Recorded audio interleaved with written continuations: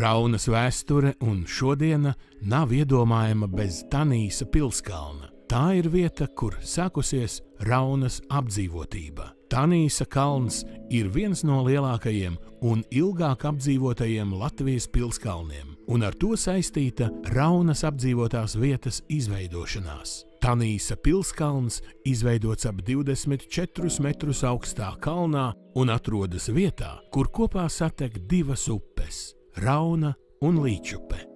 Viena no interesantākajām lietām, kas saistīta ar Tanīsa kalnu un par ko joprojām vēsturniekos nav vienprātības, ir Indriča Livonijas kronikā minētā Tālavas valdnieka Tālivalža Beverīnas pils, kas nodedzināta 1216. gadā.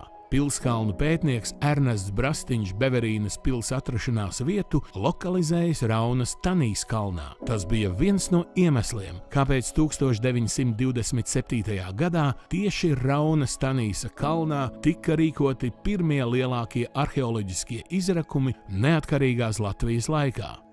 Arheoloģisko izrakumu nozīmību norāda fakts, ka šos izrakumus apmeklēja valsts prezidents Gustavs Zemgals un izglītības ministrs Jānis Pliekšāns. Rainis izrakumu norisi iemūžināja mēmajā filmā Senču pilskalns, kuru 1927. gadā demonstrēja Rīgā, kinoteātrī Splendid Palace. Pilskalna otrā malā atradās līdz šim precīzi nenoskaidrota funkcionālā pielietojuma būve, kas bija veidota klasicisma stilā. Tā būvēta 19. gadsimtā un visticamāk kalpojusi mūžas vajadzībām. Tās arhitektoniskais izveidojums atgādina kapliču vai kapenes, taču mūžas laika apbedījumi tajā vietā nav konstatēti. Kopš 20. gadsimta 90. gadiem Tanīsa kalns kalpo gan kā atpūtas, gan pasākumu norises vieta.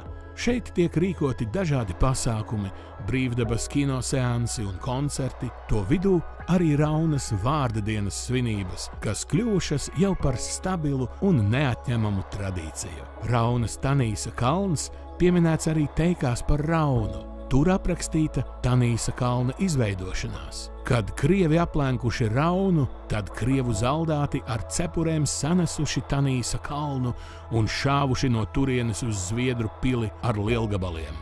Stāsts par to, ka Tanīsa kalnu sanesuši krievu zaldāti ar cepurēm, joprojām figurē vietējo iedzīvotāju mutvārdu daļradē un tiek stāstīts ciemiņiem un jaunajai paudzei.